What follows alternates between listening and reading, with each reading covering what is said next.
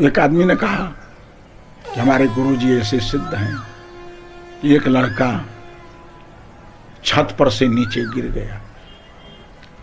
परिवार के लोगों में हाहाकार मचा, जुल्म हो गया। गुरुजी ने कहा, रुक जाओ।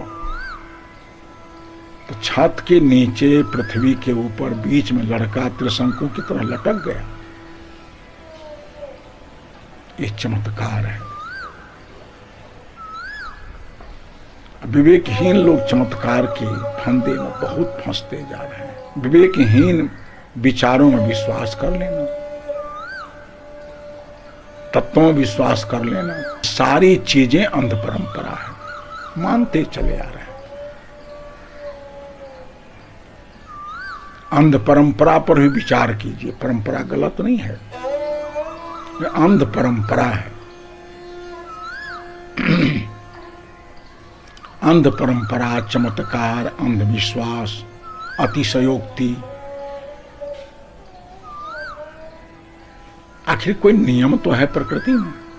एक नियम है कारण कार्य व्यवस्था। जिस कारण से जो कार्य होते आए हैं, उसी कारण से वो कार्य होते रहेंगे। अंध परंपरा आज से नहीं है। मरियम यीशु की माँ। एक प्रकाश पुंज नीचे, उतर, उतरा नीचे, और मरियम के पेट में समा गया। और प्रकाश कुछ ही दिनों के बाद यीशु के रूप में अवतरित हो गया। गौकर्ण जी के कान से, या गौकर्ण जी किसी के कान से जन्म लिए। क्या कान में बच्चेदानी है? विवेक तो स्वीकार नहीं करेगा इस बात द्रोण से पैदा हो गया। द्रोण में बच्चेदानी है क्या? गर्भस्थल है क्या?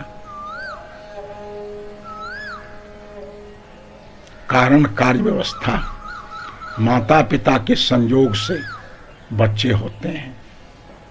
अगर वो दोनों का मसाला व्यवस्थित हो, निर्दोष हो, बेकार रहित हो, बच्चे होंगे। बिना माता पिता को बच्चा हो जाए, आज तो लोग चमत्कार की बात करने लगे हैं कि ट्यूब से भी कैसे कैसे बच्चा पैदा हो जाता है। उसका जो कोई प्रखंड बसेगा, पंचायत बनेगा प्रदेश बनेगा, कोई प्रांत बनेगा, तब तो विश्वास किया जाएगा। अभी इस पर विश्वास नहीं किया जा सकता है। वैसे कंप्यूटर भी सब काम कर लेता है। यांत्रिक युग है, यंत्र से बहुत सारे काम होते हैं। कंप्यूटर को भी चलाने वाला कोई है, तभी कंप्यूटर चलता है।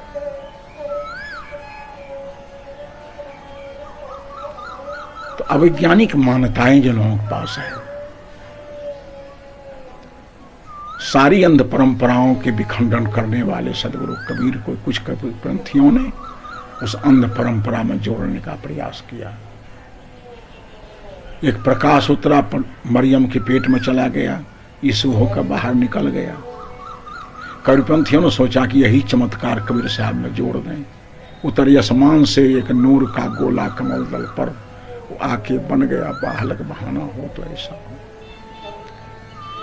काशी के लहरतारा में, तालाब में एक कमल पुष्प है, ऊपर से एक प्रकाश का पुंज उतरा, और कमल पुष्प पर बच्चा के रूप में रूपांतरित हो गया।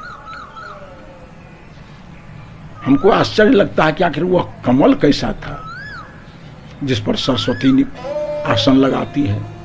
उस समय का कमल कैसा था? कितना वज़न वहन करने की शक्ति उस कमल में थी, जो सरस्वती को अपने ऊपर धारण किए हुए है। कबीर साहब शिशुर में दो योग किलो तो वज़न होगा।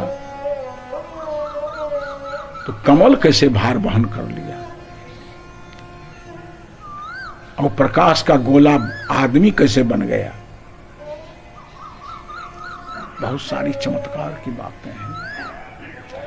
सारी चमत्कार की बातें एकदम विवेक विरुद्ध है। आज विवेक प्रखरता से उदित हो रहा है। सारे चमत्कारों पर प्रश्न चिन्ह लग रहे हैं। जैसे जैसे आदमी के अंदर विवेक का निखार होता है, इस चमत्कार की बात पर अंगुलियाँ उठ रही हैं। अंध परंपराओं पर अंगुलियाँ उठ रही हैं। अंधविश्वास पर अंगुलियाँ उठ रही है। चमत्कार पर अंगुलियाँ उठ रही हैं। आज बहुत सारी अंध परंपराएँ नहीं हैं।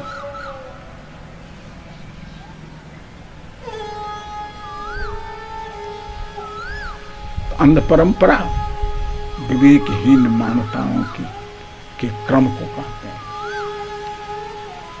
जिस मान्यता को विवेक नहीं स्वीकार करता है, जिस विचार को विवेक स्वीकार नहीं करता है इसलिए ये अंधविश्वास, ये चमत्कार, ये सारी की सारी अवैज्ञानिक धारणाएँ अंध परंपरा के अंदर आते हैं। और अंध परंपरा ज्ञान विहीन लोगों की मान्यताओं से प्रारंभ होती है।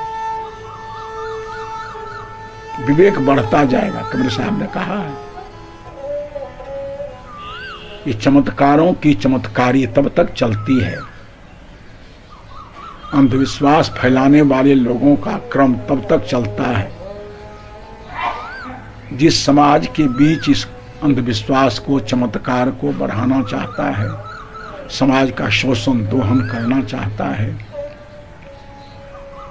उस शोषित, दमित लोगों के अंदर जब तक विवेक का उद्घाटन नहीं होगा, उसकी चेतना शक्ति नहीं जगेगी। तब तक अंध परंपरावादियों से समाज की खैरियत नहीं है, कल्याण नहीं है, छुटकारा नहीं है। सदगुरु कबीर ने कहा कहा ही कबीर ठग सो मन मान गई ठगोड़ी जब ठग पहचान।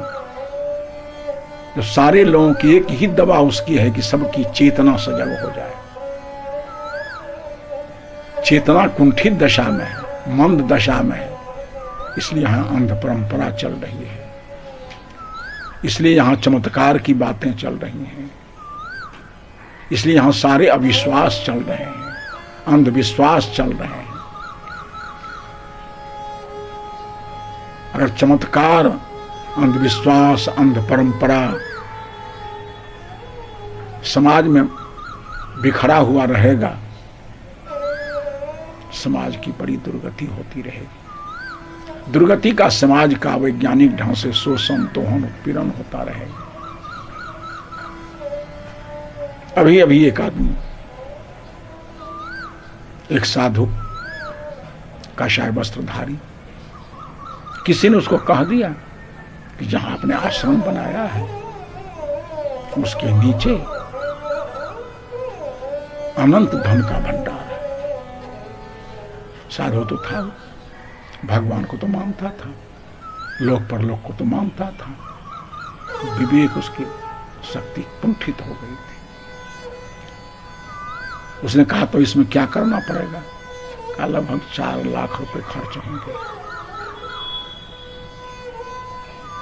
साधु जैसे हुआ, तैसे चार लाख इंतज़ाम करके दे दिया उसको।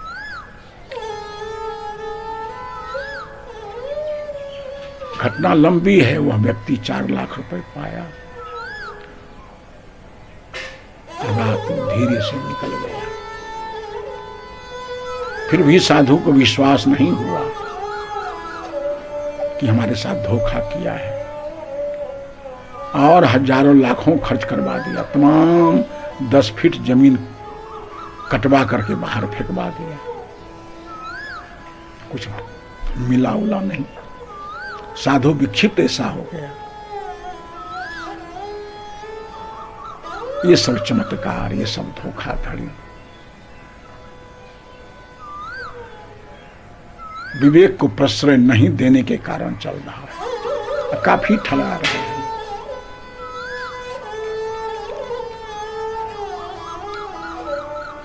तो मैंने कहा कि अंध परंपरा क्या है? सारी अवैज्ञानिक मान्यताएँ अंध परंपरा अंधश्रद्धा है अंधविश्वास है चमत्कार है। चमत्कार ऐसा पाखंड तो कुछ हो नहीं सकता।